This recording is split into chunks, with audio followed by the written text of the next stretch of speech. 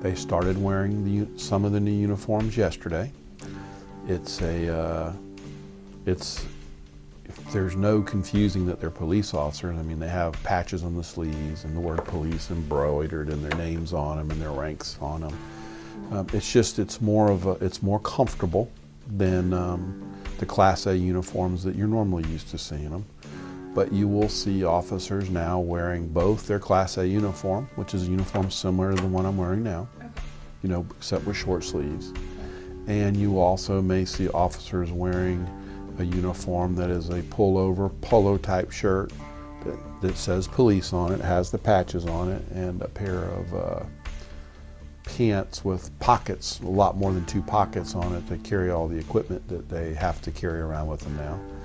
But um, I thought it was important to reach out to the Spinnaker so that you can help us in communicating to the student, staff, and um, faculty populations about both the new vehicles and also maybe seeing them in a different uniform so they don't get concerned that it's not really a UNF police officer.